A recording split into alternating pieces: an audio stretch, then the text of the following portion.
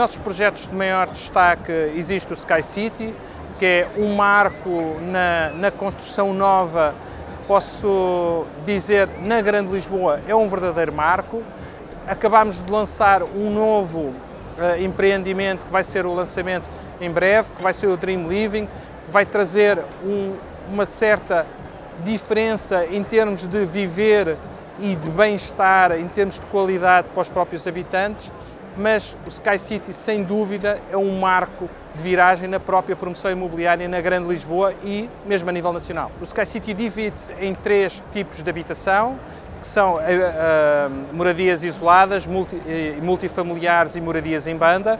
As moradias isoladas e em banda, neste momento, estão completamente 100% vendidas. A questão dos apartamentos, estamos com um sucesso de vendas muito grande, perto de atingir 70%, 80% do valor total dos, eh, dos, dos 255 apartamentos. As primeiras entregas vão, estar, vão ser feitas das moradias em banda no início de 2019.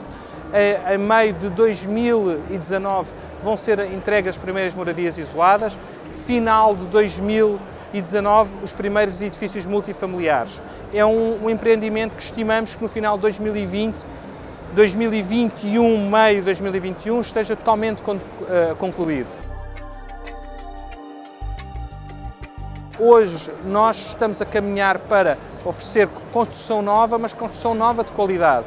Que as pessoas sintam que viver e morar no mesmo sítio é significado de qualidade.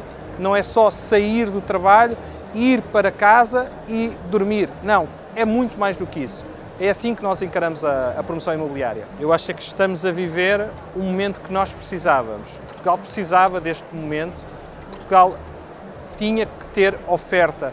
Os produtos que estavam a ser oferecidos eram produtos obsoletos, que tinham sido construídos há mais de 10 anos atrás.